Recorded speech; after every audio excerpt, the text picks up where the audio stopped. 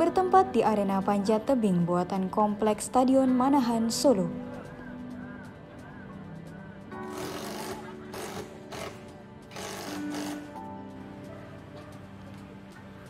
Para remaja disabilitas netra dan daksa melakukan latihan panjat tebing.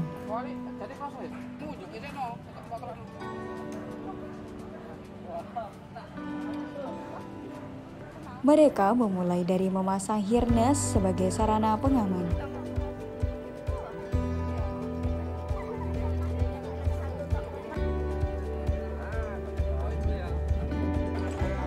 Dimulailah latihan pemanjatan dinding vertikal dengan meraih poin-poin yang terpasang.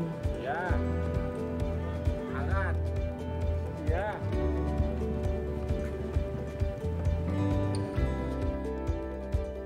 kekuatan tangan dan kaki, mereka berusaha menaklukkan sebuah tantangan.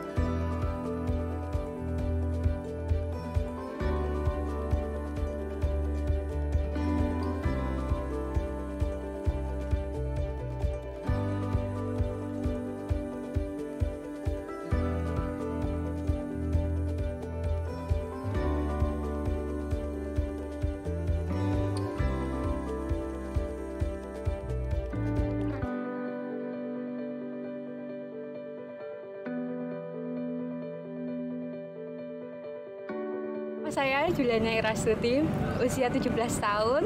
Uh, saya mengalami ketunanetraan karena uh, penyakit kanker mata.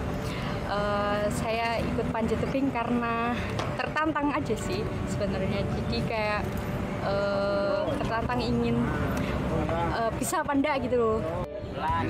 Dengan penuh perhitungan dan kehati-hatian, mereka berusaha meraih prestasi. Pijakan maupun tangannya itu sama, terus sampai atas, oke? Ya, nggak usah buru-buru ya.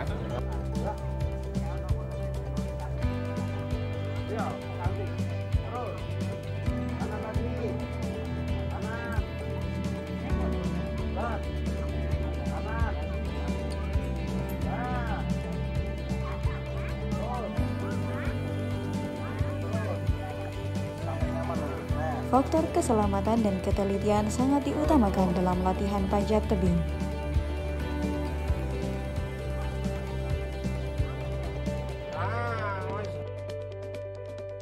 Selain itu, juga tekad dan semangat sangatlah berperan untuk mencapai prestasi.